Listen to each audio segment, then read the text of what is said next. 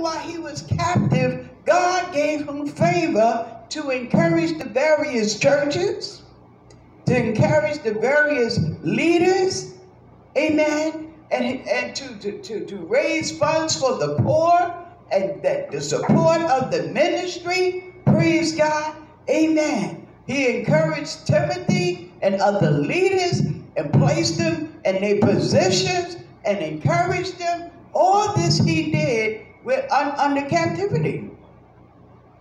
So it lets us know sometimes we might not be where we would want to be. You might feel like we got kind of a hindrance, but go forth.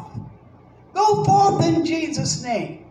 Amen. Seem like something is slowing you down. Everything is not in its right place.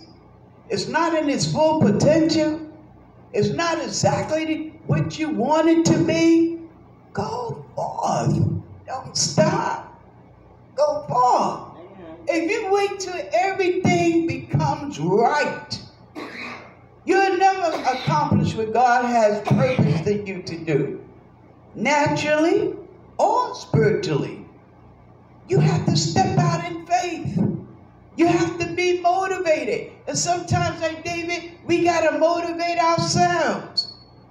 Amen. When you face your accusers, you got to be motivated. I'm still going to stand. I'm still going to do God's work.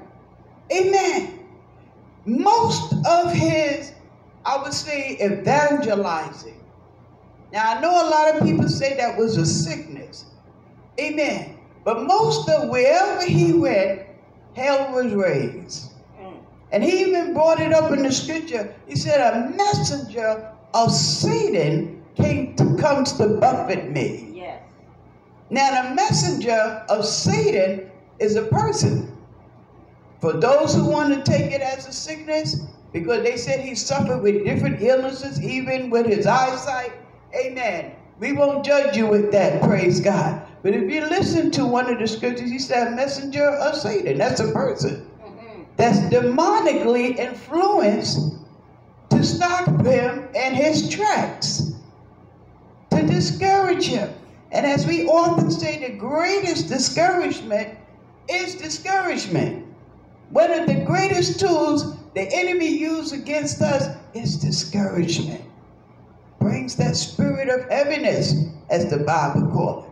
Science call it depression, anxiety. Come on here, somebody. Amen. Amen. Praise God. It is a real thing. Elijah went through it. He went through it so that he even told God, I'm the only one.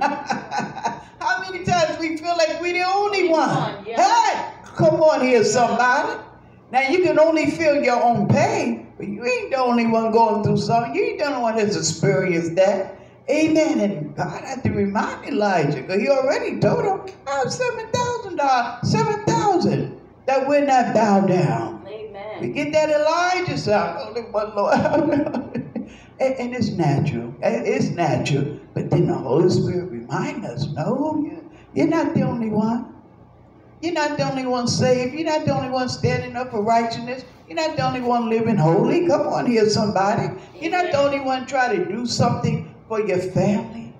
Help your family, encourage your family, your community. Praise God. You're not the only one.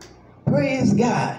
Amen. And the enemy bring these thoughts to us to discourage us, to paralyze us, to freeze us in our tracks. But we